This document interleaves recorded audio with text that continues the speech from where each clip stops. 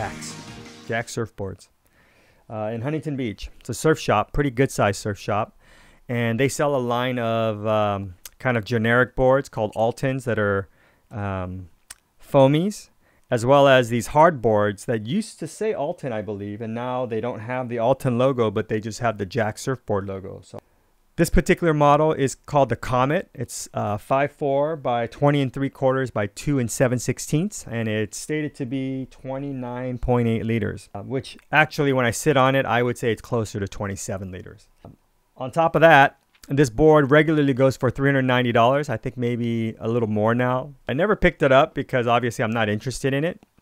Uh, when I first started this channel, the idea was to do boards that other shapers didn't do. But right away, I figured out that no one really watches those videos.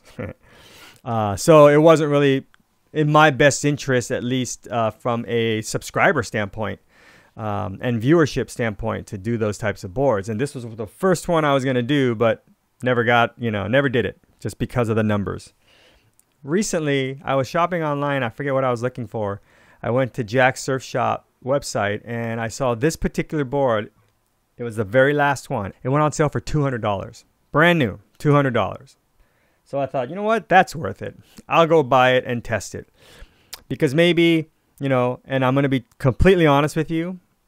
When I looked at them many years ago, like I think three years ago, they just, they looked, they were too thin um, the shape just looked wrong and i just thought oh yeah you know what this is probably not a good board to have and i didn't want and i thought i was going to do this video as kind of more like a consumer warning video hey don't buy these boards but you saw the footage you like i said it works and in fact it's kind of changed my mind about how thick i like the rails um, there were some benefits to having it this thin. My heel to toe control was so much better on this board. It almost feels like the back half of the Go Fish.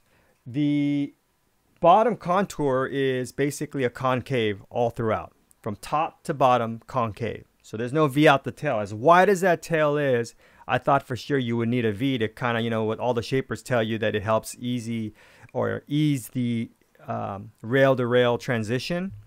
Yeah, it's super easy rail to rail transition and it's concave all the way right out the tail.